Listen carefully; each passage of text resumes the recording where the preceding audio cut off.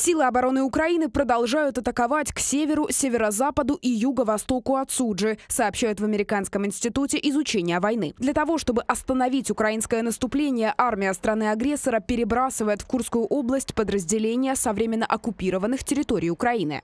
Российское военное командование перебрасывает один воздушно-десантный полк и разведывательный батальон 106-й дивизии ВДВ Северского и Краматорского направлений и как минимум один самоходный артиллерийский дивизион из состава 20-й мотострелковой дивизии с направления в Курскую область. Из отчета СВ со ссылкой на украинских военных аналитиков.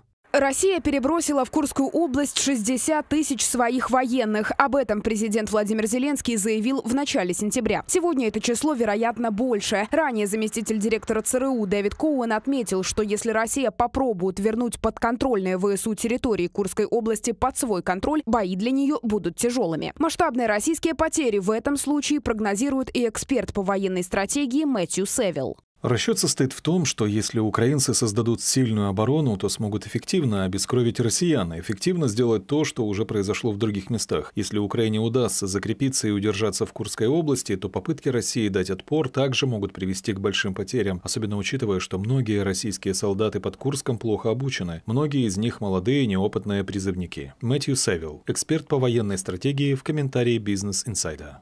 Операция в Курской области повлияла на всю линию фронта, ведь российское командование оттягивает не только личный состав, но и военную технику. Кроме того, резервы, сформированные, чтобы усилить российскую группировку на территории Украины, опять же отправляются под Курск. Оккупационная армия все так же давит на востоке Украины, но, по словам главкома ВСУ Александра Сырского, разрыв в соотношении количества снарядов, который раньше доходил до 1 к 10, теперь сократился в разы. На ближайшей неделе очевидны две вещи. Украинцам нужно укрепить свою линию фронта на востоке, и они постараются удержать территорию под Курском. Чем дольше они удерживают часть Курской области, тем слабее становится Путин. Чем дольше они будут удерживать часть Курской области, тем лучше будет защищена Украина. Джон Гилли, министр обороны Великобритании, в обращении к парламенту Великобритании. Вооруженные силы Украины, по всей видимости, в ближайшее время покидать подконтрольную часть Курской области не планируют. В Министерстве иностранных дел Украины заявили, что операция сил обороны, цитирую, стимулирует у России развитие договороспособности. Кроме того, там напомнили, что обмениваться территориями Киев не намерен.